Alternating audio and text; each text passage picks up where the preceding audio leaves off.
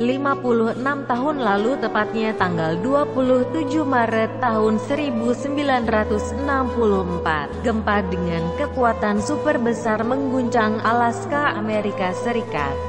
Tidak lama kemudian, tsunami menyapu kawasan pesisir. Akibatnya sekitar 131 orang tewas. Gempa terjadi di kawasan Prince William Sound dan sekitarnya pada Jumat sore sekitar pukul 17.36 waktu setempat.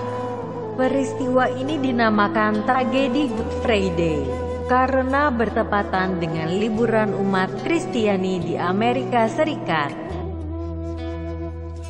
Ketika itu, sebagian besar warga tengah berada di rumah.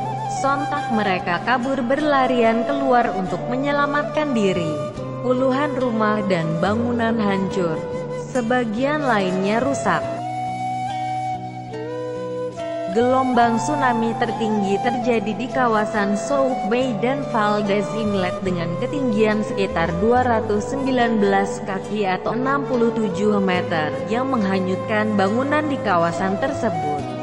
Di Cenega, 25 orang dikabarkan terbawa gelombang tsunami. Korban jiwa terbanyak berasal dari kawasan Prince William Sound. Setelah terjadi tanah longsor akibat guncangan gempa dan digulung tsunami. Air limpahan dari lokasi ini juga menyerang daerah tetangga. Port Lades Ombak tsunami tercatat melanda lebih dari 20 negara, di antaranya adalah negara Peru, Selandia Baru, Papua Nugini, Jepang, Meksiko, dan Antartika. Seperti dimuat Life Science, menurut laporan Badan Geologi Amerika Serikat (USGS), gempa terjadi dalam beberapa menit. Awalnya gempa berkekuatan 8,5 skala Richter kemudian naik menjadi 9,2 skala Richter yang memicu tsunami. Pusat gempa terletak di titik 25 km di bawah daratan, tepatnya 10 km sebelah timur daerah Kolek Fjord, 120 km sebelah timur Anchorage, dan 90 km sebelah barat Valdez.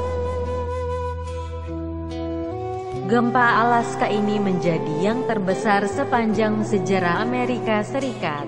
Dan gempa ini juga menjadi kedua yang paling dahsyat sepanjang sejarah dunia. Setelah gempa di Chili berkekuatan 9,5 skala Richter pada 1960 silam.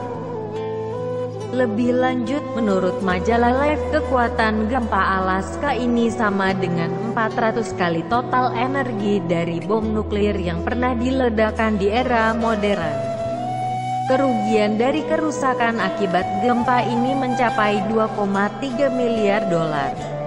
Sehari setelah gempa, Presiden Lyndon B. Johnson menyatakan Alaska sebagai daerah bencana.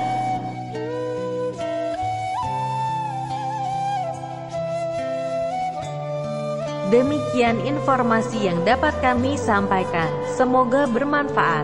Terima kasih Anda telah menonton video ini sampai selesai. Jangan lupa tekan tombol like dan subscribe. Jika video ini bermanfaat silahkan Anda tekan tombol share agar dapat berbagi dengan pemerhati yang lain.